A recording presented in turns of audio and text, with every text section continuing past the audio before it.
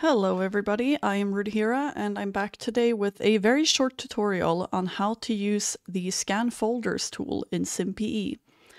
This is because I've seen a lot of people ask about it recently and I'm very bad at explaining things in text, so I thought I would make a video instead.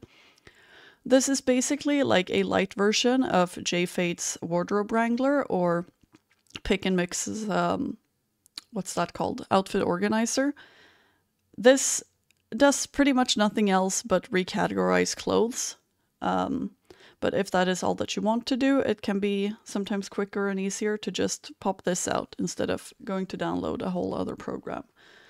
Uh, before you start this, I would recommend that you get the packages with the outfits you want to recategorize out of your main downloads folder and put them in a separate folder. Uh, you can put that folder in your documents or on your desktop. Doesn't really matter as long as you can easily navigate to it. You want to start off by pressing Tools and then Scan Folders. You could also press Ctrl F on your keyboard to bring this up and it will open this window.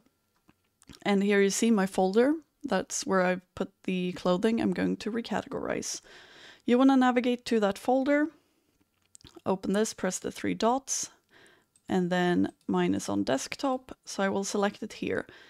Then for active scanners, you can uncheck caption scanner, you can uncheck health scanner, and then press scan. If you have your entire downloads folder selected instead, this will take a very long time now I have my outfits here and this can be a little tricky if you cannot tell what something is from the name. Uh, also, you can tell that these three have previews while the rest of them do not. That is because they are texture referenced.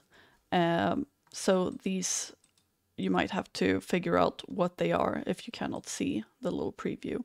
And same for these pants here.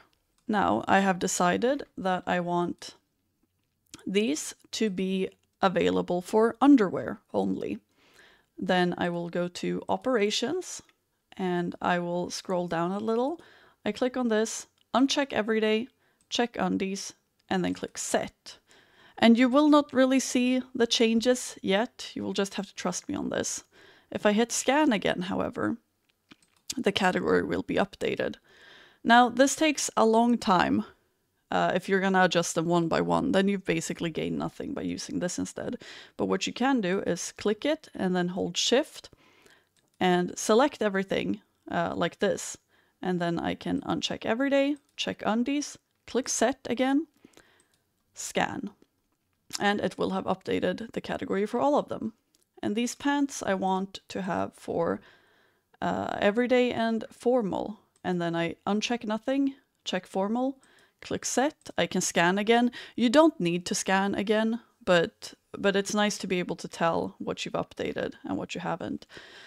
And that is all there is to it. All you have to do after this is move the packages back into your downloads folder and it will be available for the categories you've selected.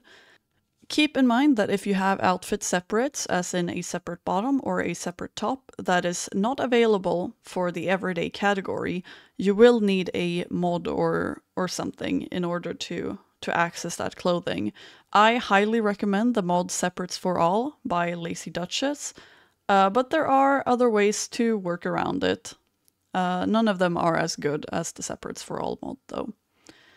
But yeah, that's all for this tutorial. If you have any questions, you can leave them in the comments. You can send me a message on Discord. You can send me an ask on Tumblr.